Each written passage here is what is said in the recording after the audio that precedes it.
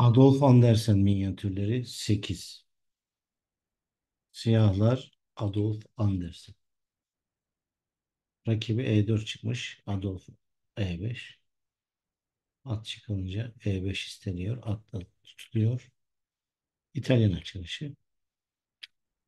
Evet.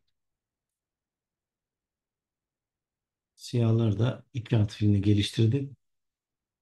Beyazlar da her an kısa rok yapabilir. Merkezi parçalamaya yönelik bir yönetim. Evet. Siyah Adolf Andersen ne yaptı? Şah çekti siyahta giden filiyle. Gel diyor değişelim. Şah tanınınca evet burada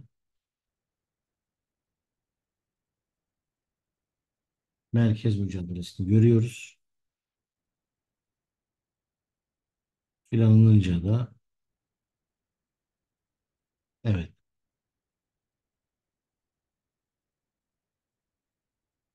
gördüğünüz gibi E hattı açık piyonlar yok. Açık hat tehlikeli olabilir. Şah ortada. Hemen dedi kısa okumu yapayım.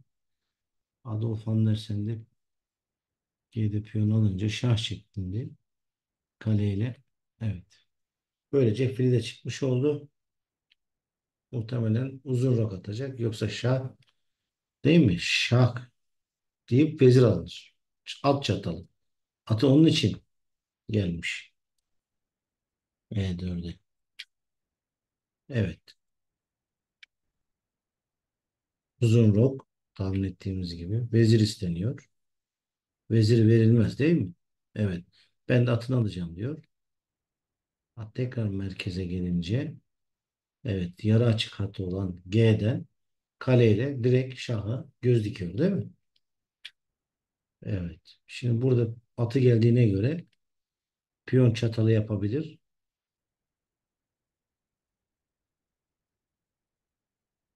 Evet. Direkt veziri gelerek Adolf Andersen ne yaptı?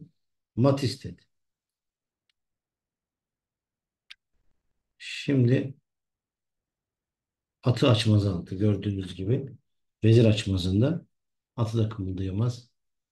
Şimdi isteyebilir atı. Dediğimiz gibi atla at alınamaz. Vezirle de alınırsa mata çare yok. Mecburen kaleyle tutayım bari dedi. At da şah çekilince kaleyle